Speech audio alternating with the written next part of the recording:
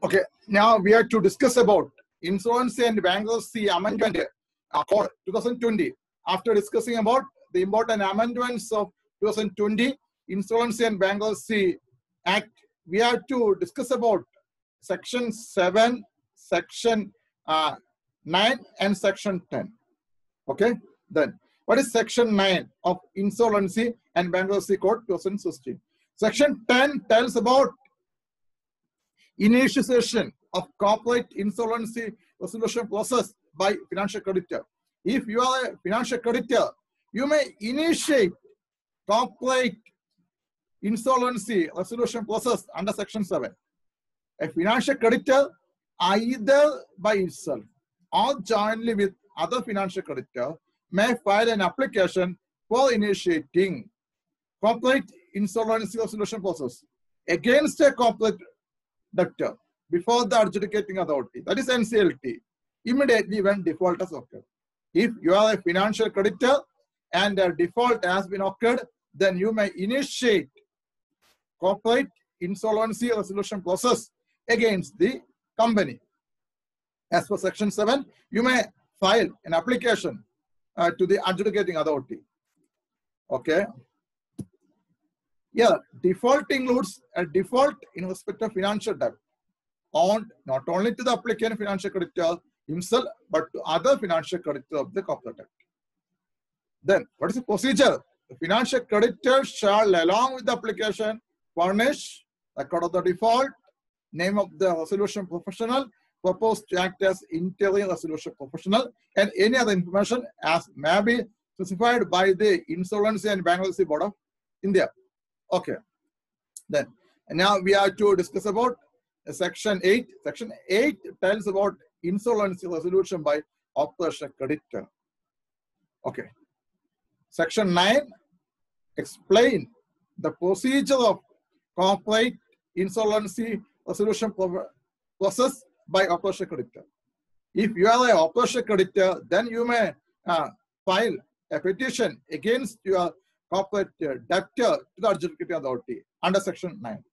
An operation creditor on the occurrence of default cannot directly go to NCLT, but first has to deliver a demand notice to corporate debtor. Okay. The corporate debtor shall within a period of 10 days of the receipt of the demand notice bring to notice of the operation creditor existence of dispute of proof of payment. Even after 10 days of demanded delivery notice, the operation creditor does not receive the payment of notice of dispute.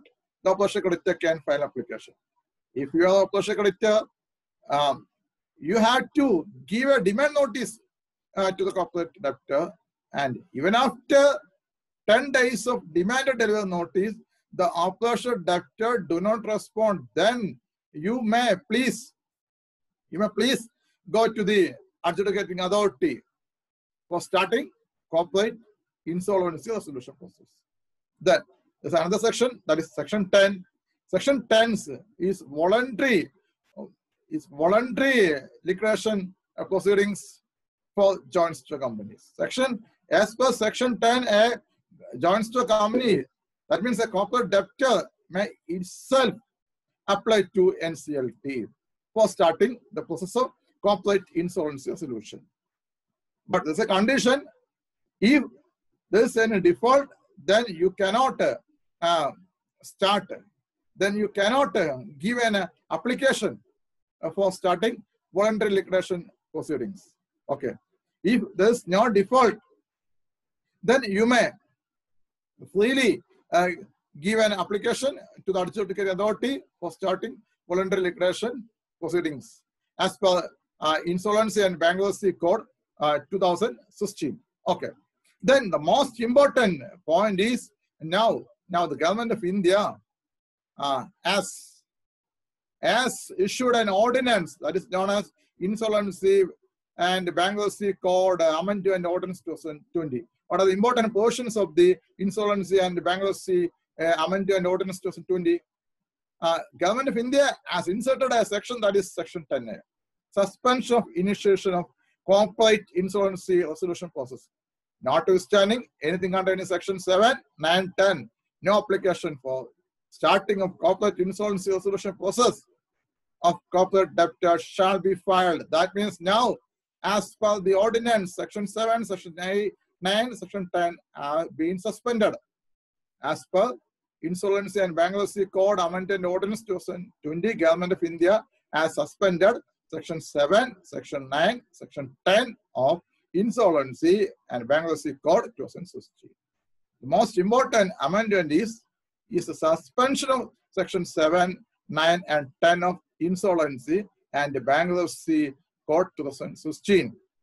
For any default arising on or after 25th March 2020 for a period of six months or such or the period not exceeding one year from such a date as may be notified in this period.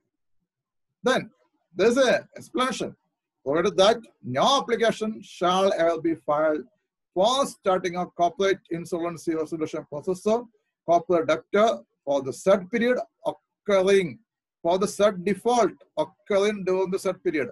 Provided that no application shall ever be filed for starting a corporate insolvency resolution process of a corporate debtor for the third default occurring during said period. Is another explanation?